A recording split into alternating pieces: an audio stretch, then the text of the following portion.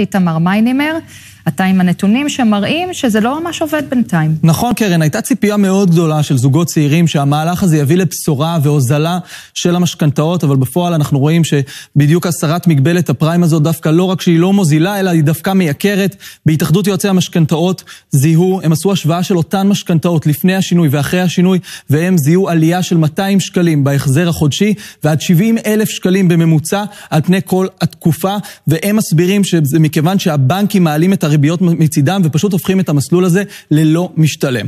מי שיזם את המהלך הוא חבר הכנסת שלמה קרעי. היום הוא שולח מכתב חריף נגד הבנקים למפקחת על הבנקים כדי שיורידו את הריביות ויקלו על נוטלי המשכנתאות. בואי נשמע דברים שהוא אמר לנו מוקדם יותר היום. העלאת הריבית היא שימוש מושחת בכוח המופרז שיש לשחקנים בשוק הבנקאי.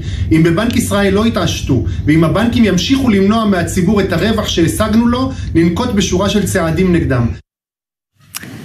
זה עוד עניין שעוד יצטרך לבחון הרבה בשבועות הקרובים, אולי בכל זאת הבנקים קצת יתעשתו, בינתיים זה לא ממש קורה. תודה רבה לך, איתמר. תודה.